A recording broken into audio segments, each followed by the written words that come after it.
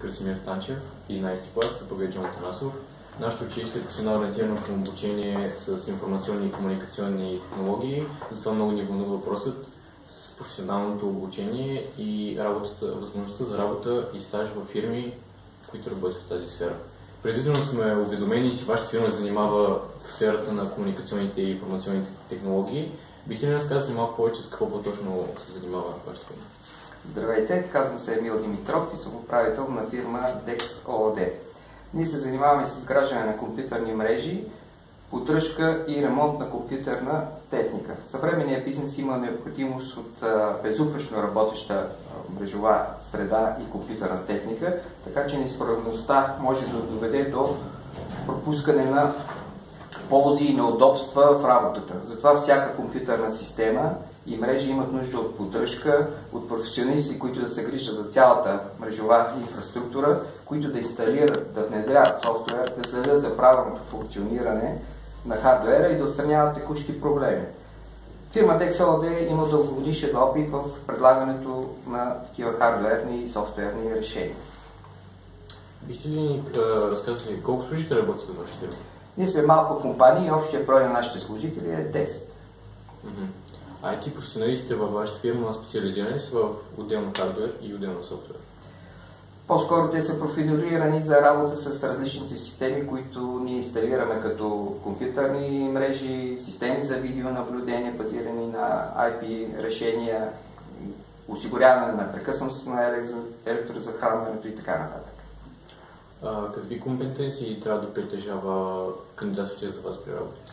Основните компетенции, които трябва да притежават нашите служители, те са в сферата на информационните и компютърни технологии. Преди всичко работещите при нас трябва да могат да познават основно всички компоненти на една работна станция компютър, да могат да се асемблират, съответно да разглобят, да диагностицират проблеми, да заменят дефектирала част. Това са компетенции в областта на хардуера. По отношение на компетенциите в областта на софтуера трябва да могат да конфигурират компютърна станция, да инсталират различен приложен софтуер, да тестват, да сравняват различни а, проблеми а, при възникнали при дадени приложения да могат да свържат компютърите или работните станции в а, една мрежа.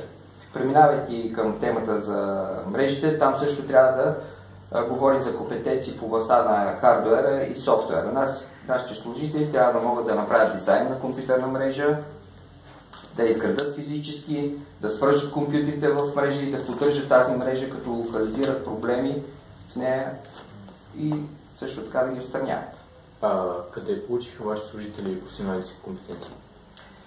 Ами, например, един от нашите служители, Теодор Димитров, завършил колеж по информационни технологии и след това повиши своята квалификация в по-профилирана насока като Cisco мрежовити академии, където освен, нали, че получи важни теоретични познания, има възможност да се работи в лабораторни условия с мрежови устройства на Cisco, така че да придоби богат опит в проектирането и програмирането на такива устройства. Това също много а, помага в работата във фирмата, а, като това е екипната дейност, екипната работа. Тъй като споменахте екипна работа, бихте ли разказали малко повече за тези личности, качества или по-скоро наречените меки умения, които притежават работещите в вашата фирма? освен умението за работа в екип, което споменах, бих добавил още няколко качества и умения, които са изключително важни за работа в фирмата. Това са коректност, лоялност, умението да се работи под напрежение. Ние често имаме задачи, които трябва да решим в много кратки срокове. А при изграждането на една мрежа, ние обикновено, докато изграждаме една мрежа, ние обикновено планираме дейността си, но при възникване на проблеми, трябва те да се отстранят изключително бързо, тъй като за клиента е много важно да няма прекъсване на дейността. Всяко едно прекъсване на мрежата означава, че клиентът остава без интернет, означава, че има забавяне на отговори на имейли, забавени срокове в работата и съответно пропуснати ползи.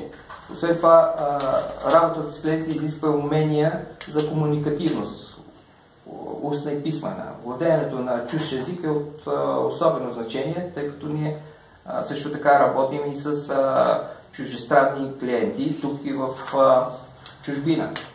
Владеенето на английски язик е задължително условие в нашата фирма, тъй като документацията на устройствата, които инсталираме при клиента, ползването на различни приложения, всички те са на английски язик. Тоест служителите трябва да имат изградени умения за работа с документация. Не само да я разчитат, но да могат и да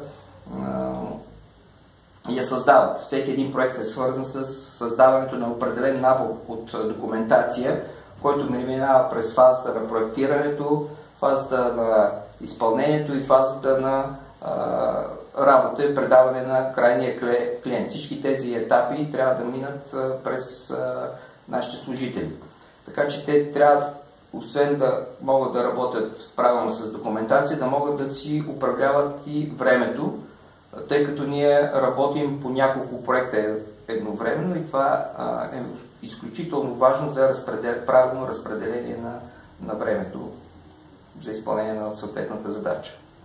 Благодаря ви за интервюто. За мен беше изключително важно да разбера, че едни, освен едни професионални качества, ние трябва да изградим и личностни качества, които да ни помогнат да се реализираме в кариерата.